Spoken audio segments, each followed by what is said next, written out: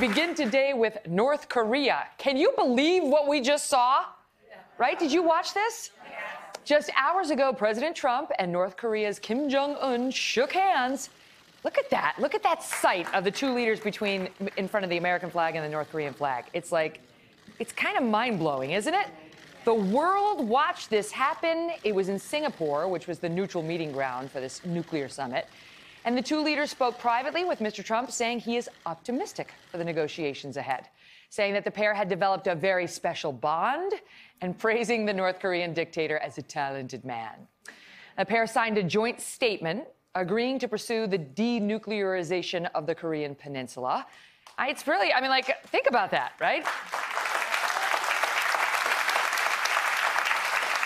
It's it's not a guarantee, and it's not, you know, we don't know how it's going to be enforced or inspected or any of that stuff. But hey, is it better than we were two months ago? I mean, it's tough to argue it's not. Um, afterward, Mr. Trump held his own press conference, which was only his second solo planned press conference in his presidency. It lasted about an hour. And he spoke about his meeting and his impression of Kim Jong un. Watch. Well, thank you very much.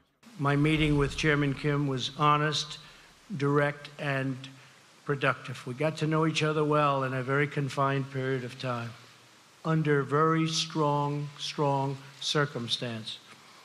We're prepared to start a new history, and we're ready to write a new chapter between our nations.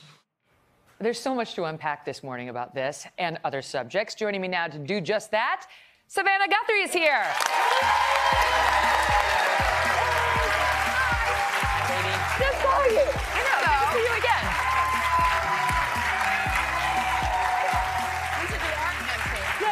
Exactly.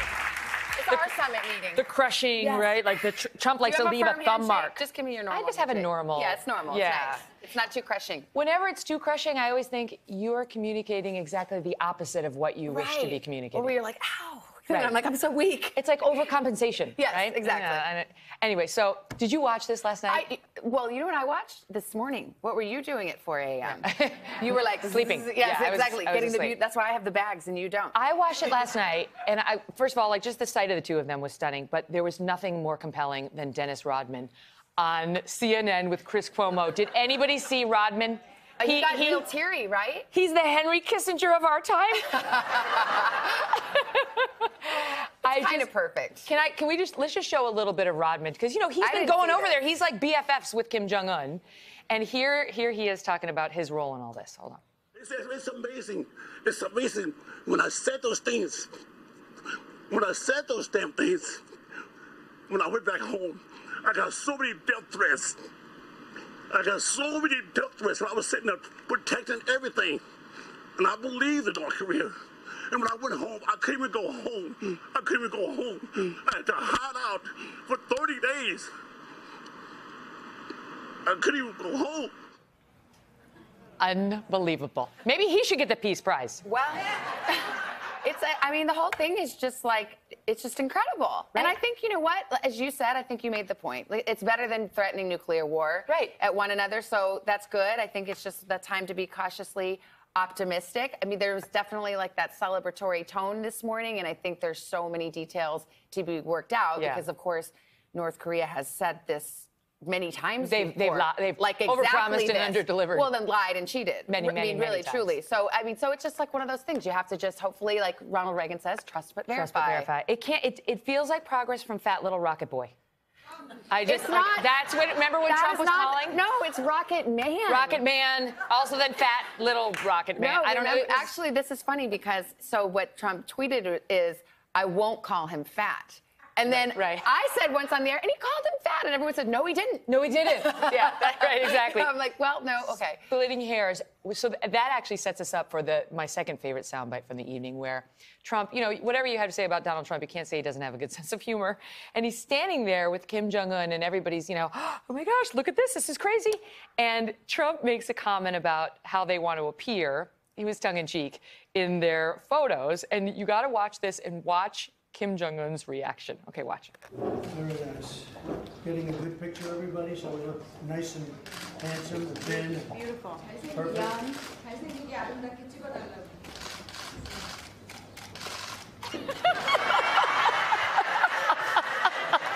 Lost in translation.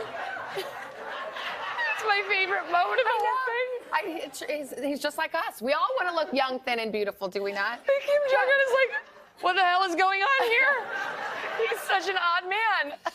but listen, I don't know about you. I'm not going to like sleep peacefully over North Korea, but maybe a little bit more peacefully tonight. And hope springs eternal that maybe because yeah. this guy's been, you know, popping his head up a little bit more. I think he wants acceptance. Yeah, I mean, it's a process, yeah. and you know, now it's devil's in the details, and we'll see what happens. Yeah, we'll see. Um, okay, I got to ask you about this kid out of Montana. Okay, now here's what happened. It was the playoff for the for the state championship baseball. Yes. And the pitcher uh, is about to throw the ball and strike out, he hopes, the last batter from the other team. But they're friends, they're lifelong friends, right? So the pitcher's in a tough spot, right? If he strikes him out, he goes to the national champion. Look what he does. He struck him out, and look what the pitcher does. Before he celebrated with his team, look, he's hugging the batter that he struck out. I mean, that's it right there. That's yes. sportsmanship. It's so sweet. And his whole team, look, they're doing like the dog pile over there. They're so happy. Look at him. Like, and he just walks them off. Like, that's love. I love And then he goes to celebrate. His name is Ty Koehn, the pitcher. He plays for the Mounds View Mustangs. Now they're going to the state championship, but that's his buddy, Jack Kocon. Um, and he said, look, you know, it's my he's my friend for so many years. What was I going to do? I felt bad for him, even though if you were his mom, would you not be the most proud woman in America yes. of that oh my God. boy? I'd be like, winning. Honestly. Not the strikeout, not the championship, that moment. No, how do you um, teach that? You, you know? can't. Yeah. Well, I hope you can. Yeah, right. We're gonna just be like, here, watch this video of this little boy. Right. You do that if you're ever in that situation. Right. Mommy will love you so much. um, okay, I have to ask you about Gwyneth Paltrow because she's got her website Goop, yes. which has turned into this pretty successful business.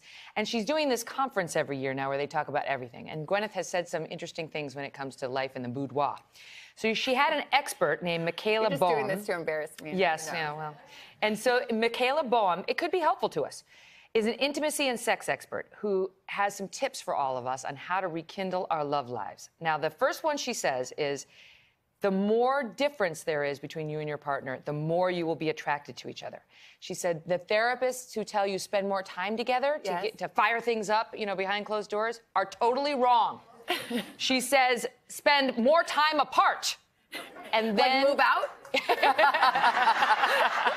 Bye. Like pick a fight. What I don't know, but like you you have to highlight your differences or spend less time together. Oh, like have a little. Okay. Well, right? like Mike work late. Right. Or yeah, like go in the guest room. Yes. How's that going to help? I don't know. I actually believe in this because I can tell you during my garden leave in between my two jobs, yes. I was seeing so much of Doug. Wait, garden leave? I've That's what I call that. it. That's, That's my garden leave in between my jobs. I love that.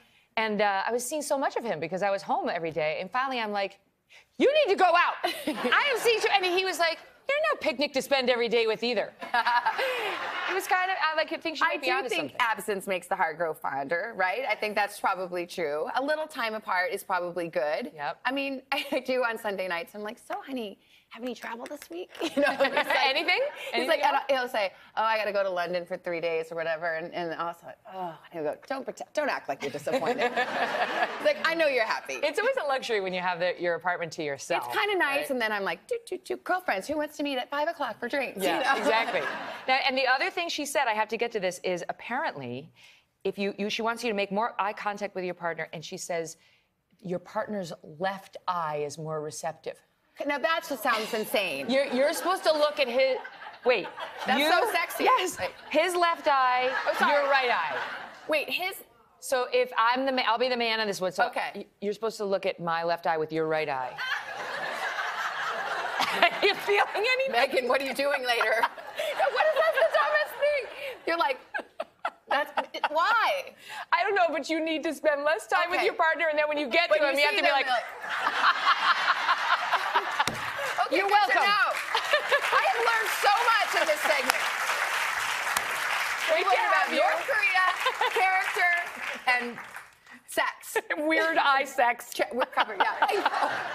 Anyone she... gonna try that? No, no, no not no a single shown. person. Not okay. a single. All right. Shown.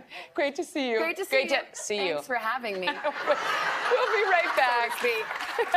Hello, Today fans. Thanks for checking out our YouTube channel. Subscribe by clicking that button down there and click on any of the videos over here to watch the latest interviews, show highlights, and digital exclusives.